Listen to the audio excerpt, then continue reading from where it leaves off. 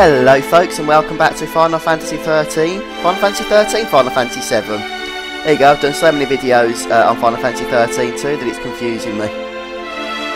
And I'm actually recovering from a little bit of a cold, so that's why there haven't been any videos for the past few days, I do apologise. It's getting to that time of year again. Now expect the first part of this video to be mainly story rather than uh, battling foes that was one of the things with Final Fantasy VII. You had a section where you'd go around killing things and grinding levels and whatnot, and then you'd have quite long story sections in between. So that's sort of been changed a little bit with later Final Fantasy games. Uh, everything's sort of merged together now. And there's nothing down there, you can't go through there. There's a sign here which you cannot read. And to progress the story you need to speak to Barret. But you can explore this inn as well if you want.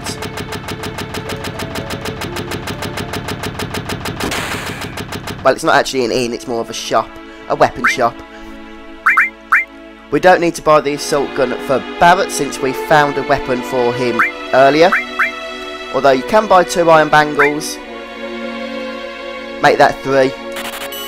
Uh, I'll tell you why you buy three a bit later. I don't want to spoil anything for those who haven't played.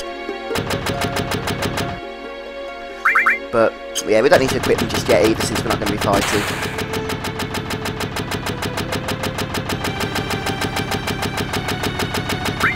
Yeah, we don't need to rest up either.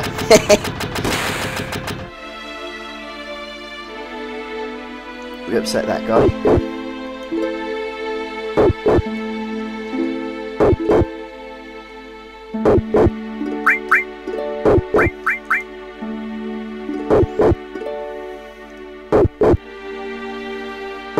Yeah, some of the dialogue in this is a little weird. We can go into uh, that little place later. And if we go to the top floor, then we enter that guy's bedroom.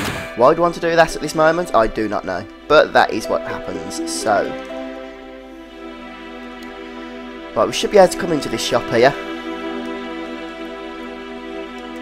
At least I thought we could, maybe it's not open yet. It has been a few years since I played this game, so I am going from memory. But We'll speak about it now and progress with the story.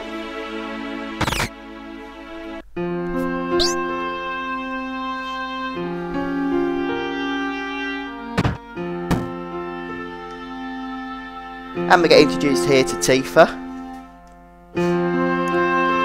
A character with a legendary status in the Final Fantasy universe, even though of course Tifa only appears in the Final Fantasy VII franchise. Again, you can either upset Tifa or keep her happy. Remember, the points you get, the secret points, you can't see what they are, the game gives you depends uh, on how a scene happens later on.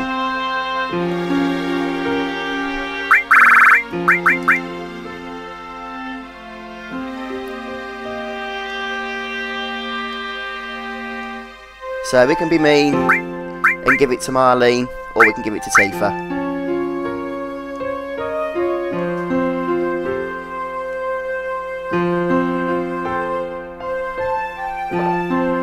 That, just drinking my tea. And if you try and leave, Barret comes running in.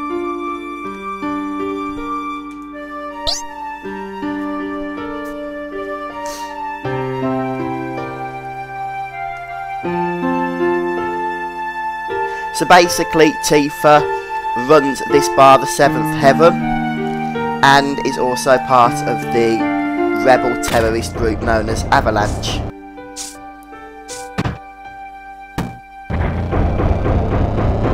And you can go straight down there, or you can speak to Tifa for a little bit more info. At least I think you can.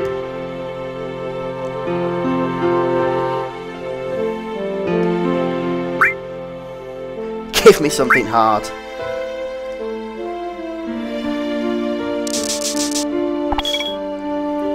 Thank you, Tifa, for the invisible drink.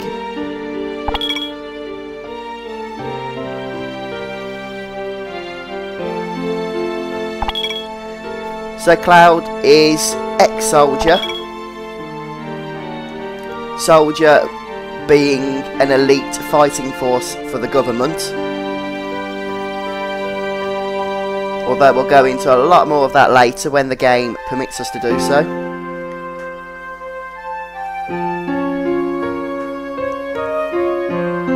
Okay, so that's the little bit of story we can get from Tifa. Now we can uh, proceed down safely.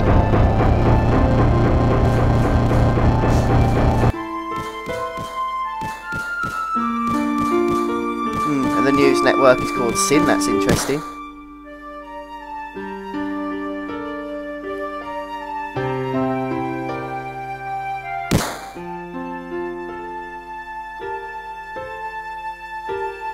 So yeah, like I said, Cloud's a little bit cocky.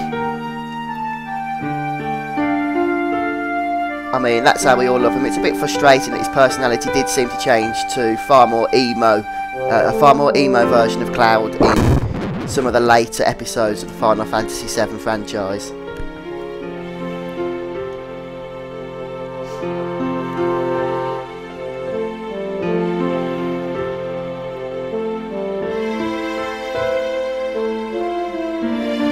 Right now, Cloud's definitely got the I don't care about anything attitude.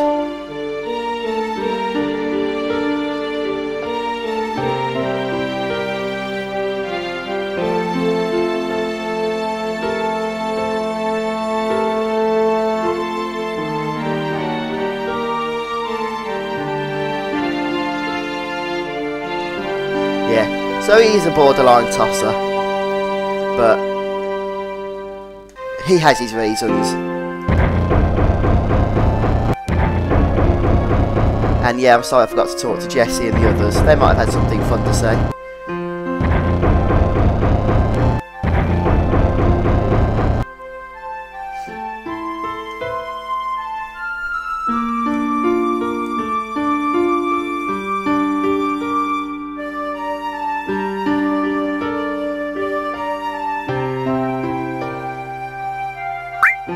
Should we be nice? Yeah. I don't know how you can be nasty to the girls in this game.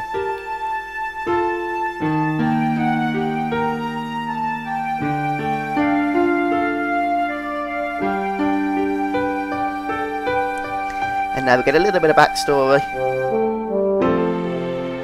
With some sad little music, Tifa music in the background.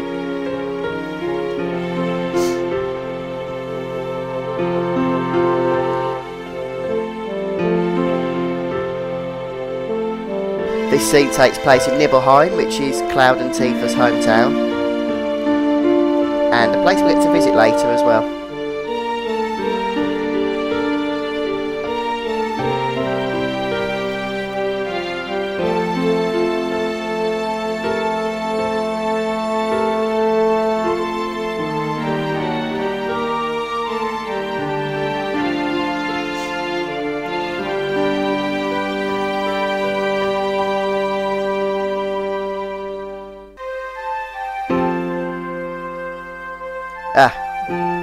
Cloud's cut his hair since then by the looks of it. It's still mad and spiky, but he hasn't got a dopey ponytail.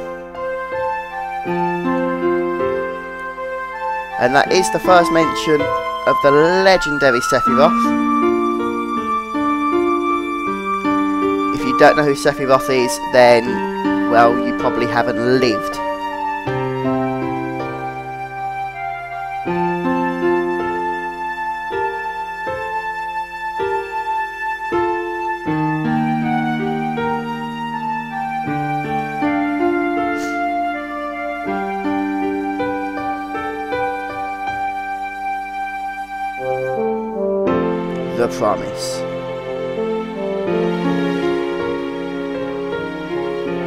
It's cheesy, but hey, it's video game cheesy. It's parts like this that work because there's no voice acting. If there was voice acting, I think this would just be terrible.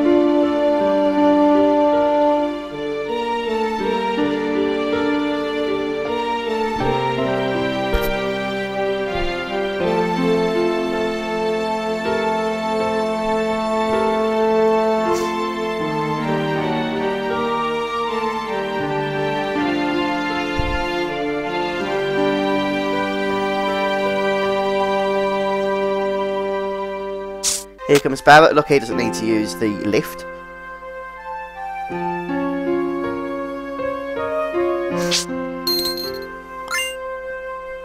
Fifteen hundred gil.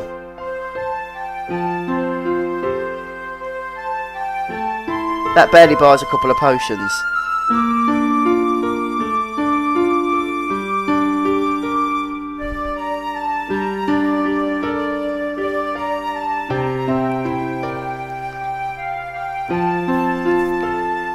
Yeah, that's Barret for you. Using his daughter's schooling money for terrorist activities.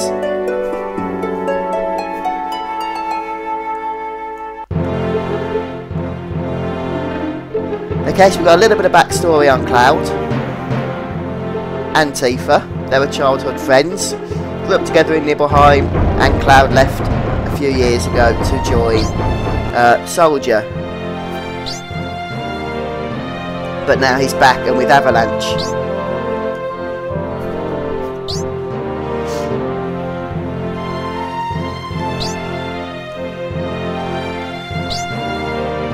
Okay. I'm going to skip that because we know how to use materia. And the tutorials in this game are really sluggish. You probably want to do them if you've not played before. The materia system in this game, the magic system, uh, it's actually one of my favourite systems in a Final Fantasy game. Some people say it feels a little bit ancient now compared to the like Final Fantasy 13 and Final Fantasy 13 2, and yeah, it does. But for its day it really was a good system especially if you compare it to Final Fantasy VIII which came after this game that used the draw system and that was without a doubt terrible. It really really was the draw system in Final Fantasy VIII was probably the worst magic system I've ever seen in an RPG don't get me wrong I love the game Final Fantasy VIII but for me, the draw system, it just killed any re replayability. I just had no motivation to play through that game more than once. Because basically you had to spend...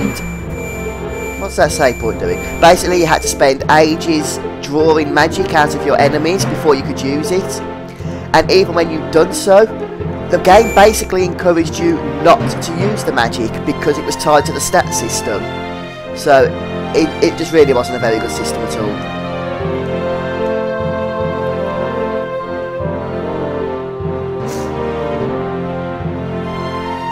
Okay, more tutorials. I'm not interested in those. But yeah, if you need to know anything about the game, you can come to this little room here.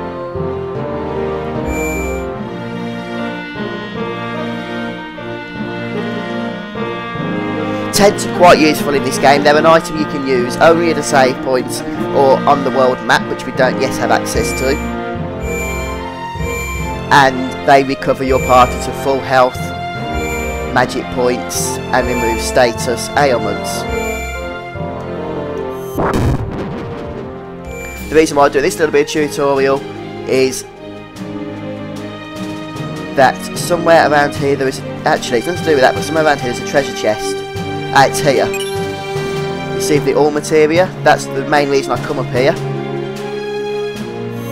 And there's the treasure chest. And we'll save our game. You don't need to save here, there is another save point that we used earlier. Before we go on though, I'm just going to very quickly sort out some equipment and that's why we use buy three iron bangles since we now have three characters in our party. And either on Cloud or um, on Barret you can equip the all materia. All only works when the materia slots are linked like these two here. And it basically affects the materia it's linked to. So if we link all with lightning or ice, it will cast lightning or ice on all the enemies in a group. You can also link it with the restore materia to cure everybody in your party. But for now, I think we'll link it up with lightning on cloud. We'll let Tifa have uh, heal ability, restore, cure, and we'll give ice to Barret. Yeah, I think that's the way we'll do it. Yes, I don't need to know this again. Please don't tell it to me all. Ah, I'm going to go through the whole thing again.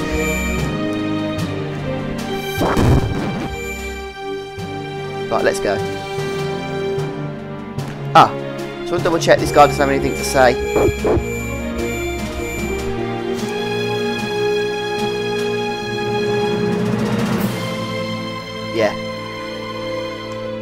He just gives us some more tutorial options.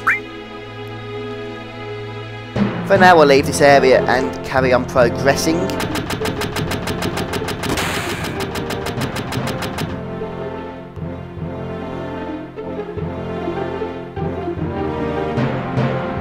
just head back the way we came. And we are now prepared to go on our second mission. Which we need to catch the train.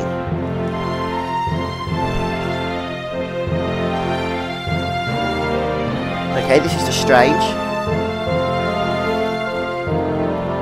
Okay. I don't think anything else needs to be said about that.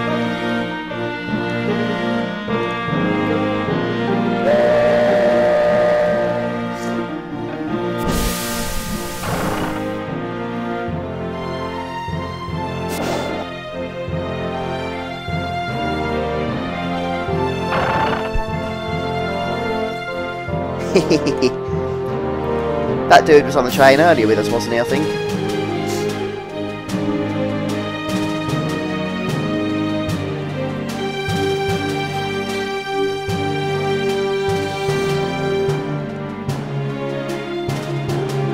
Hehehe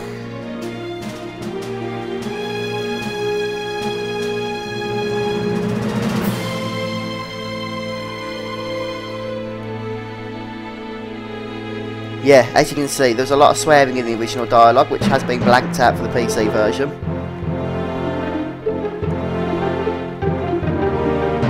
Especially coming from Barret.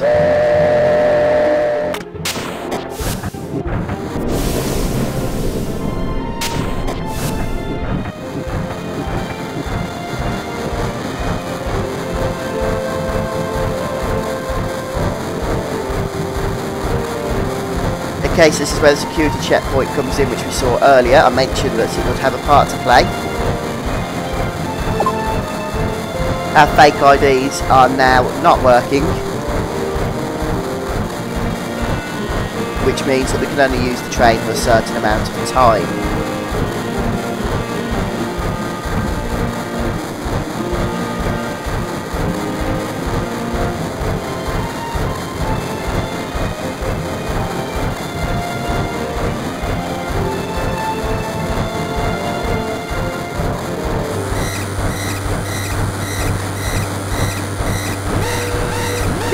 Quite three minutes, but hey.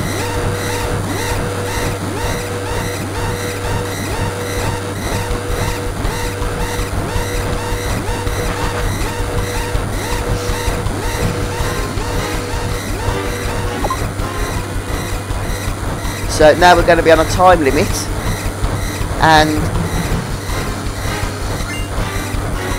even though you're on a time limit you have time to talk to some of the passengers which will give you extra rewards. You will have to hurry through the dialogues, like that I had to hurry through, but we did get a Phoenix down for it.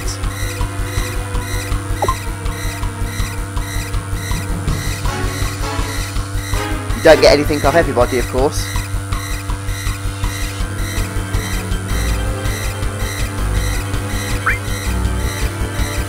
Okay, we've got three seconds of time to move, but we did get a nice high potion out of it.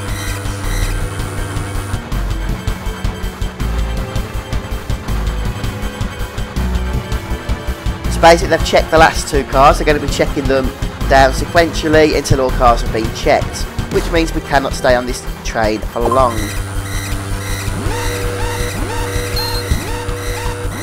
Oh, the bastards has nicked our gil.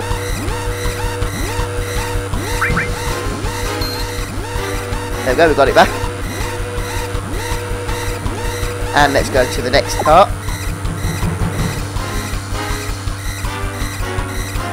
Talk to everybody. Need to collect, so we'll move on. And I think this is the last one, and with no time limit either.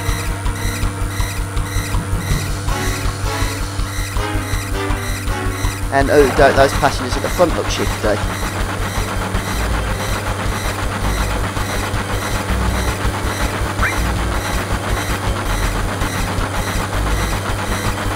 Yeah, you don't want to be too happy with that compliment.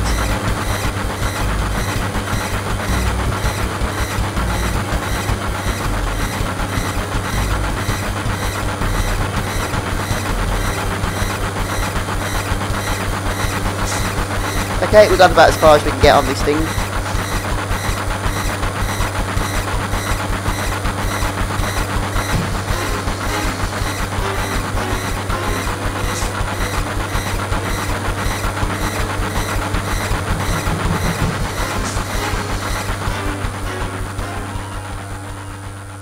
Okay, so now Cloud, Tifa and Barret are off the train on the rails.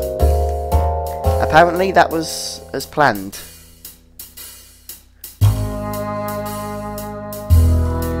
and we're now heading to the next reactor which is just down this tunnel. I think you can go backwards to collect some rewards. I could be wrong. It could be a wasted journey. If not at least we'll get some experience nonetheless and I'm pretty sure that new party members join you at fixed levels so even if your character's a higher level then new party members. It won't affect new party members. Which means Tifa probably needs a little bit of levelling.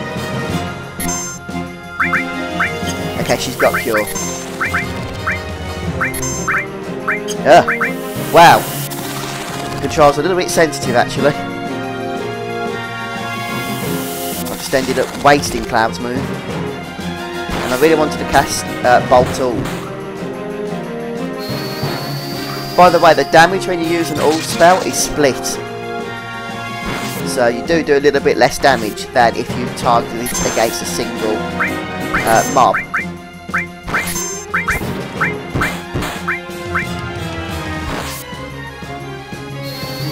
But here we go with our new all spell. And it does the job just fine.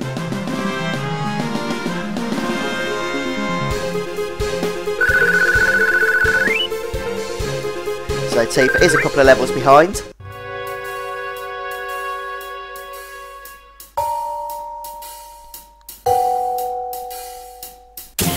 Now we do come back to uh, an area very similar to this much later in the game and I cannot for the life of me think whether it is now or later where we collect extra items by going backwards. Oh! This game wasn't really made for an analog pad.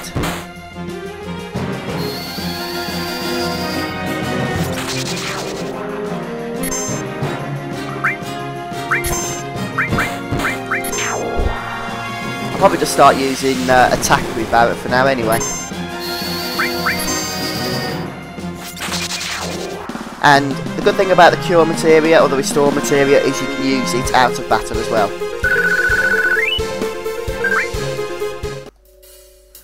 So if we just go to magic, go down to Tifa, then we can use that just like that and bring her health back up to full. And yes, it is basically running through the same tile set over and over, a fixed number of times. And no, we cannot go any further, that's annoying. But at least we've got an extra couple of battles in.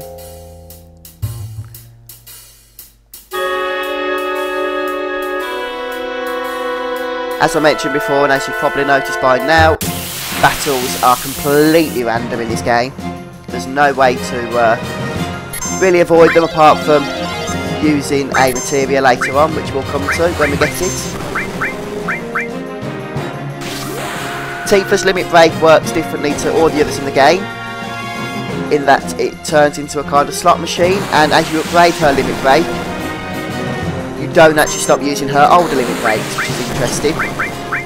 It'll all make sense later as we do it.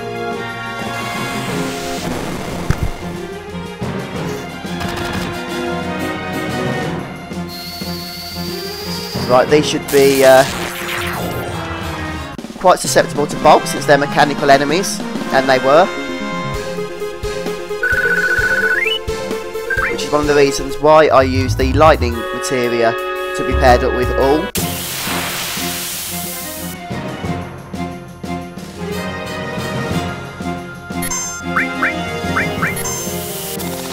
And we'll just do normal attacks on Tifa and Barret to finish off anything that doesn't get killed by Cloud.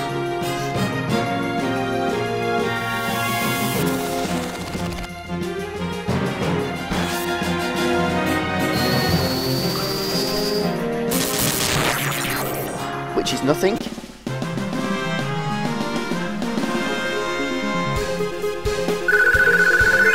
And Tifa has her first level. Of course, each time you level, you get an increase to all your basic stats, health, usual thing that you'd expect in an RPG. A very traditional levelling game this is.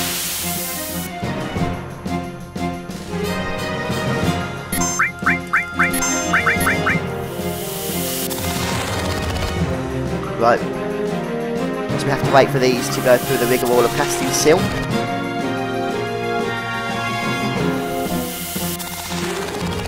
One thing that I have noticed which is nice, and something I would expect, is there seems to be no loading times for the battles. I remember on the original PlayStation version, you did have to wait about 4 or 5 seconds after the Battle 12 before you actually enter combat. It's just a quality of life improvement which is nice.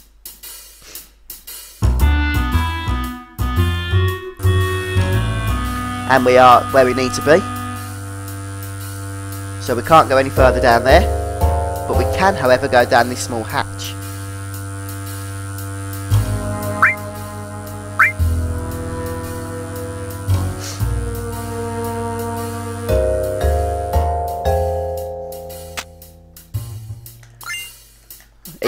Ethers restore your magic points.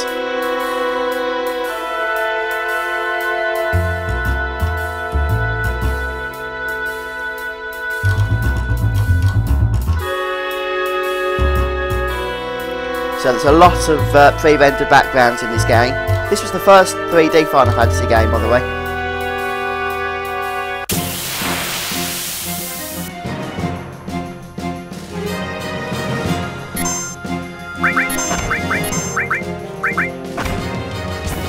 And hopefully we'll be able to kill all these with a single hit from Cloud's Bolt. Let's see what happens. Oh no, these things are hard. The enemies can no longer be one-shot. Barret is best when you're casting enemies at the back of the pack, since his weapon is ranged.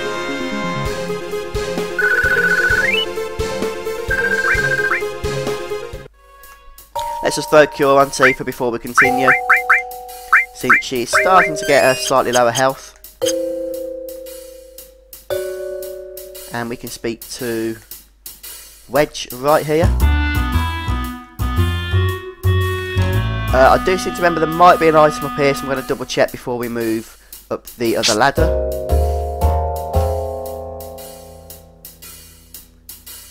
Anytime today.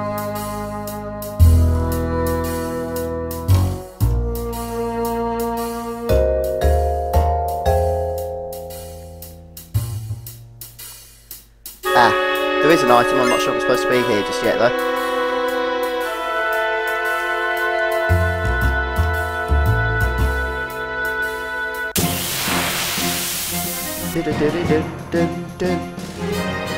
And we've got some new enemy types here.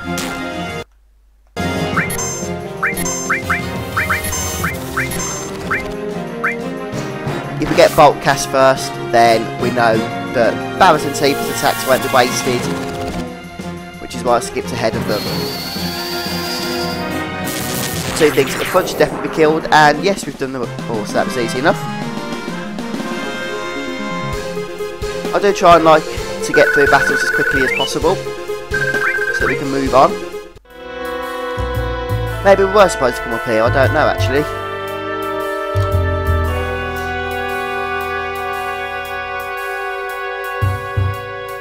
Ah, try pressing the opposite way. That's better. You have to press up, not down, which is bizarre. Wedge did say we needed to go up there, so...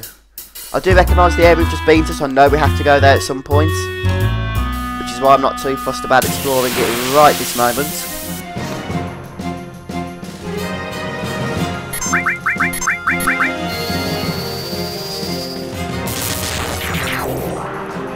That's them taken care of.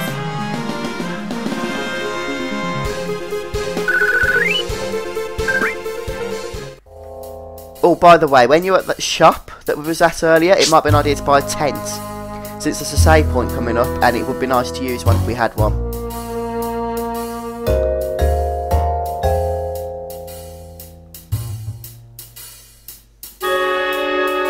Ah. Okay, so that's where we just were. And there's the save point.